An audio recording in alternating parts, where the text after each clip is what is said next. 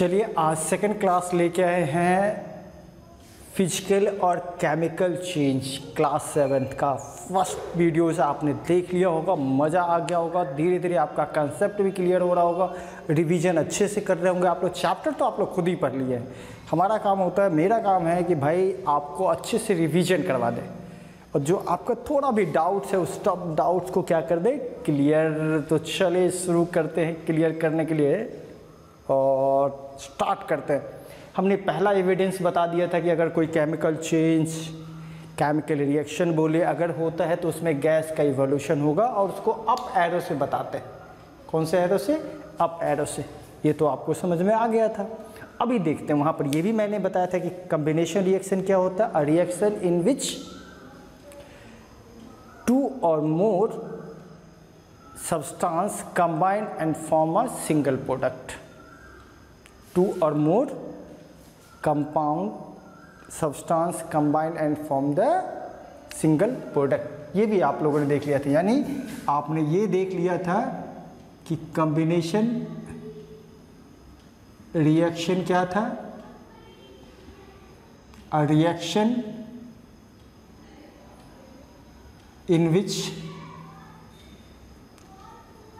two or more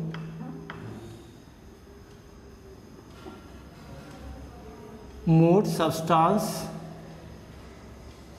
react, and form single product कितना product बनाता है भाई? सिंगल प्रोडक्ट बनाता है। जैसे आपने देखा N2 plus H two N H three single product बना कि नहीं? C plus O two C O two single product बना कि नहीं? S plus O two S O two single product बना कि नहीं बना। P four plus O two P two O five single product बना कि नहीं बना। बना ना? ये सब आप लोगों ने प्रीवियस वीडियोस में देख लिया था। देखा था कि नहीं है? याद है? ठीक है? तो कम्बिनेशन रिएक्शन तो कंफर्म हो गया था। अब उसके बाद हम लोगों ने क्या देखा था? डी डीकम्पोजिशन रिएक्शन यानी ऐसा रिएक्शन ठीक है? उसके बाद हम लोगों ने क्या देखा था? डीकम्पोजिशन चलो बता देते डिकम्पोजिशन रिएक्शन जिसमें क्या होता था? एक सब्सटेंस स्प्लिट अप होके एक से ज़्यादा प्रोडक्ट क्रिएट करता था। ठीक है? चलिए।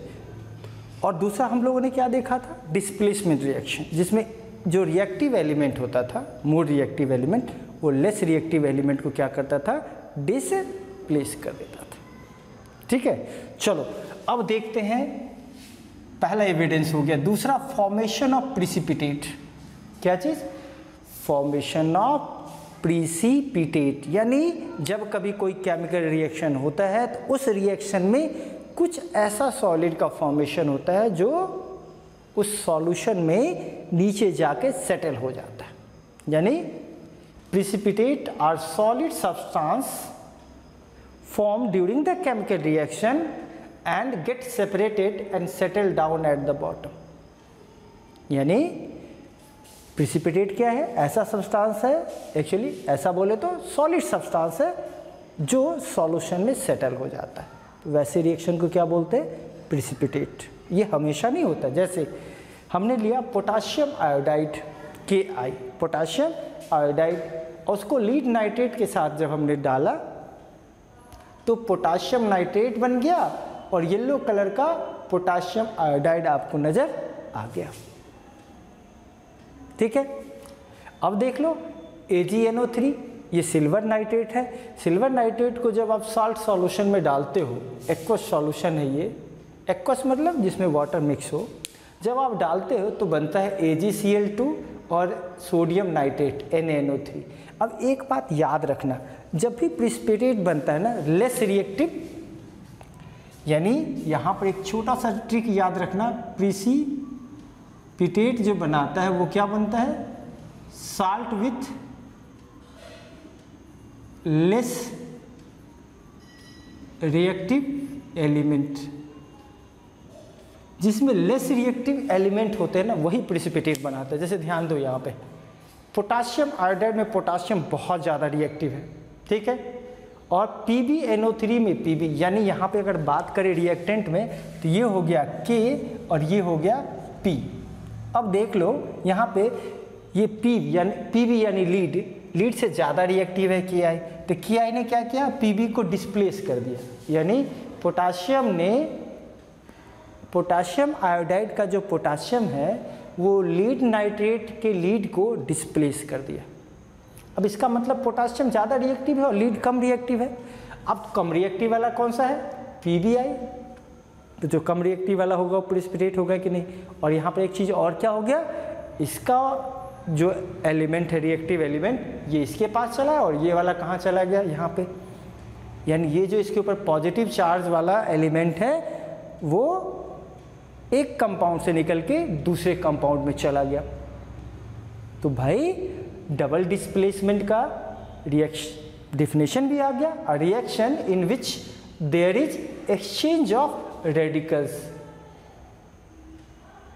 exchange of radicals तो भाई रेडिकल्स क्या हो गया? वो भी बता देते हैं। रेडिकल्स आर एटम और यहाँ पर लिख दो चार्ज या तो चार्ज क्या होगा? एटम और ग्रुप ऑफ़ एटम एटम या ग्रुप ऑफ़ एटम को हम लोग क्या बोलते हैं? रेडिकल जैसे हमने देखा NO3 पे माइनस वन सी टू पे माइनस टू है ना? सॉरी सी थ्री पे माइनस टू ये सब क्या हो गया? ये सब रेडिकल्स हो गया। आपने एसिड बेसिन सॉल्ट चैप्टर अगर पढ़ा होगा तो पता चला होगा, अगर अभी तक आपने वीडियोस नहीं देखा तो तुरंत जाके वीडियो देखिए एसिड बेसिन सॉल्ट के सभी वीडियो, तीन बार, चार बार, पाँच बार। जब तक आपको याद ना हो जाए मेमोराइज ना हो जाए अंडरस्टैंडिंग डेवलप ना हो जाए, उस समय तक देखते रहिए। क्योंकि ये वीडियो रिविजन के तौर पे बनता है। ये एक एक पॉइंट को धीरे धीरे करने के लिए नहीं बनता है। ये कम समय में आपको जल्दी से जल्दी रिवाइज करने के लिए एक टूल्स है ये जो वीडियोज़ होते हैं उसको आप हथियार, यानी कि क्या बोलते हैं हम लोग? हेल्प की तरह यूज़ करिए कि आपको ये हेल्प करता है पढ़ाई में। ठीक है? तो चलो डिफिनेशन हमने देख लिया। डबल डिस्प्लेसमेंट रिएक्शन में क्या होता है? देयर इज़ ये वर्ड याद रखना। क्या हो जाता है? एक्सचेंज ऑफ़ रेडिकल्स रेडिकल्स बोले तो ग्रुप ऑफ़ चार्ज एटम्स ढेर सारा एटम मिलके अगर चार्ज हो तब भी और सिंगल पे चार्ज हो तब भी वो आपस में क्या करते हैं एक्सचेंज कर लेता है। अब यहाँ पर देखो ए में ए लेस रिएक्टिव है और एन मोर रिएक्टिव है। अब क्या होगा एन चला जाएगा ए के जगह पे और ए जी चलाएगा एन के जगह पे। तो जहाँ भी ए जाएगा, वो क्या बना लेगा? वो बना लेगा प्रिसिपिटेट तो प्रिसिपिटेट को हम लोग किस एरो से डिनोट करते हैं भाई? डाउन एरो से। तो प्रिसिपिटेट लिखा नहीं रहता है केमिकल रिएक्शन में, सिर्फ़ डाउन एरो लिखा है तो आप समझ जाना क्या है वो प्रिसिपिटेट है, यानी जब ये रिएक्शन होगा तो ये सॉलिड के फॉर्म में नीचे जाके सेटल हो जाएगा। समझ में आ गया? आ गया कि नहीं आ गया समझ में? कंफर्म है? ठीक है, चलो, अब नेक्स्ट देखते हैं, फटाफट इसको कॉपी में लिख। लो चलिए अब नेक्स्ट प्रॉपर्टीज़ देखते हैं। प्रॉपर्टीज़ नंबर थ्री और ये थ्री क्या कह रहा है कि there is change in energy कभी कोई केमिकल रिएक्शन होता है तो या तो वो केमिकल रिएक्शन में हीट हमको देना पड़ेगा, यानी in the form of energy energy किसी भी फॉर्म में दिया जा सकता है जनरली हीट के फॉर्म में दिया जाता है। या तो एनर्जी हम देंगे, या तो हम हीट सप्लाई करेंगे, या तो वो हमें हीट देगा। ठीक है? या तो हम उसको देंगे, या तो वो हमको देगा। तो अगर रिएक्शन में वो हीट हमें देता है। अगर हमें हीट देता है, वो अगर हीट प्रोड्यूस करता है तो उसको बोलते हैं exothermic reaction a chemical reaction in which heat is produce is called exothermic reaction और reaction in which heat is absorb or taken away या तो वो हीट एब्जॉर्ब कर ले, या तो वो आपको हीट दे दे तो उसको हम लोग बोलते हैं इंडोथर्मिक, इंडो मतलब लेने वाला, एक्जो मतलब देने वाला। ठीक है? अब कुछ रिएक्शंस आपके सामने हैं। अगर आप लकड़ी को जलाते हैं कार्बन प्लस ऑक्सीजन तो कार्बन डाइऑक्साइड गैस निकलता है और हीट भी प्रोड्यूस होता है कि नहीं? फायर क्रैकर देखे होंगे कंबसन रिएक्शन इस रिएक्शन को हम लोग बोलते हैं, कौन सा? कंबशन रिएक्शन कंबशन रिएक्शन अब ये रिएक्शन क्या है? ऐसा रिएक्शन जिसमें फ्यूल बर्न करने के बाद हीट के साथ साथ क्या प्रोड्यूस होता है? इसके साथ साथ प्रोड्यूस होता है लाइट और हीट और लाइट एनर्जी के फॉर्म में। अगर हीट के साथ लाइट भी आता है, तब उसको क्या बोलेंगे? कंबशन रिएक्शन क्या चीज़? कंबशन रिएक्शन जैसे याद होगा, आप एलपीजी जलाते हैं ना, देखो सी एच फोर मीथेन को जब आप बर्न करते हो तो फिर क्या निकलता है? Carbon dioxide gas plus heat अब प्लस लाइट तो ये भी रिएक्शन कौन सा रिएक्शन हो जाएगा ये? कंबशन रिएक्शन मैग्नीशियम का रिवर आप लोगों ने देखा? पटाखा जलाए होंगे आप लोग? वो जो रहता है जिसमें आप माचिस जलाते हो। तो मैग्नीशियम के रिबन को आप जलाते हो तो मैग्नीशियम का आस निकलता है वाइट और साथ में हीट भी प्रोड्यूस होता है तो ये कौन सा रिएक्शन हो गया? अगर हीट प्रोड्यूस करेगा तो ये होगा एक्जोथर्मिक और हीट जब हम लोग देंगे तो क्या होगा? इंडोथर्मिक जैसे ये भी बताया हमने नाइट्रोजन अगर हाइड्रोजन के साथ रिएक्ट करेगा तो अमोनिया बनाएगा। क्या बना दिया ये? अमोनिया इसको क्या बोलते हैं हम लोग? अमोनिया और तब जाके क्या होगा? वो हीट प्रोड्यूस होगा। एक और सिंपल एग्जांपल मैं बता दूँ। आपने चूना देखा होगा? मार्केट से खरीद के लाते हैं, वो सी ए ओ है, सूखा हुआ चूना। उसको जो ही आप पानी में डालते हैं ना, वो देखेंगे बड़ बड़ बड़ बड़ बड़ बड़ बड़ बड़ उसमें से, और पूरा जो बाल्टी होता है ना, वो गर्म हो जाता है। तो ये बाल्टी गर्म क्यों हुआ? क्योंकि इसका मतलब है कि उस रिएक्शन में क्या निकला है? ये सबसे सिंपल है। और आप घर पे देख सकते हैं इसको। आपके घर में जब वाइट वॉश हुआ होगा तो आपने देखा होगा। तो ये भी कौन सा रिएक्शन हो गया? एक्जोथर्मिक रिएक्शन अब कुछ और एग्ज़ाम्पल देख लो। अब देखो, जब हीट देता है तो प्लस हीट लेते हैं, लिखते हैं और जब उसमें हीट हम देते हैं, वो एब्जॉर्ब करता है तो माइनस हीट या तो यहाँ पे माइनस हीट लिख दो, चाहे इसके ऊपर भी आप हीट लिख सकते हैं, जैसे मर्ज़ी वैसे लिख सकते हैं, दोनों सेम ही है। ठीक है?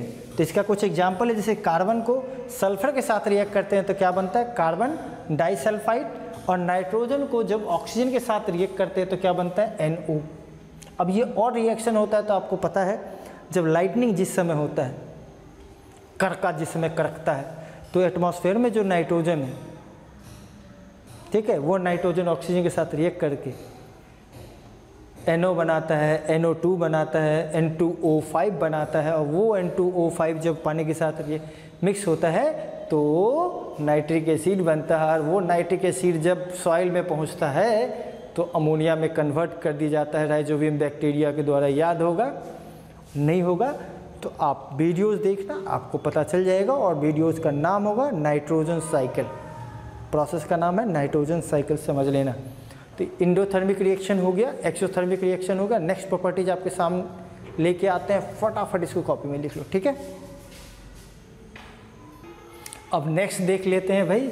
अब नेक्स्ट में हम लोगों ने देखा था चेंज इन कलर कलर में क्या हो जाता है? चेंज हो जाता है। जब आप लैब में जाओगे तो लैब में पोटाशियम पर मैग्नेट होता है, उसका कलर होता है पिंक ठीक है? और लैब में लिखो बिल्कुल वाइट कलर का कलरलेस होता है हाइड्रोजन पर लैब में काम करने पर केयरफुल रहना है टीचर की प्रेजेंस में करना है। ठीक है? जब आप पोटाशियम पर मैग्नेट का सॉल्यूशन लेते हो, उस सॉल्यूशन में क्या डालते हो? हाइड्रोजन परोक्साइड तो जो इसका पिंक कलर होता है, वो धीरे धीरे क्या होना शुरू हो जाता है? गायब होना शुरू हो जाएगा। क्या होगा पिंक कलर उसका गायब हो जाएगा। ठीक है तो उसमें क्या बनता है? Manganese dioxide, potassium hydroxide, oxygen gas release होता है और वाटर वेपर इवापोरेट्स होता है। अब एक छोटा सा और एग्ज़ाम्पल आप लैब में जाके कर सकते हो। वही मैं बता रहा जो आप देख सकते हो। ये कॉपर सल्फेट साल्ट है। एसिड बेसिन सॉल्ट अभी भी चैप्टर नहीं देखे तो फटाफट देख लीजिएगा। कॉपर सल्फेट क्या है? साल्ट है। इसका कलर होता है ब्लू ठीक है? जो ही इसको पानी में आप मिलाते हो, यानी इसका क्या बनाओगे आप? एक्वस सॉल्यूशन बनाओगे और उसमें आयरन का नेल डाल दो। चार पाँच आयरन का नेल डाल दो। एक, दो भी डाल सकते हो। ठीक है? तो धीरे धीरे उसका कलर किसमें कन्वर्ट हो जाएगा? ब्लू से ब्राउन में कन्वर्ट हो जाएगा। अब ये जो आपने चेंज इन कलर देखा तो ये हुआ कि नहीं केमिकल चेंज है ना? इसके अलावा और भी कुछ चाहते हो आप कह सकते हो। इसके अलावा अगर आपको देखना है तो चेंज इन स्मेल किसमें चेंज हो जाता है? स्मेल में चेंज आ सकता है। ठीक है? और भी कह सकते हो तो आप कह सकते हो।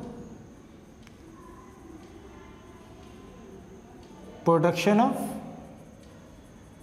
sound fire crackers आपने जलाया होगा। तो फायर क्रैकर्स जलाने में साउंड और हीट और लाइट सब प्रोड्यूस होता है। तो एक्चुअली में क्या हो गया वो? केमिकल चेंज हो गया। मज़ा आ रहा है। फटाफट इसको कॉपी में लिखिए। अब नेक्स्ट वीडियो में आएँगे और हम लोग देखेंगे some common chemical changes that occur in our surrounding and how can we deal with them. Like rusting crystallization. Okay. Thanks for watching the videos. If you like the videos then like button press the like button and subscribe the channel and share with your other friends. Thank you for watching the videos.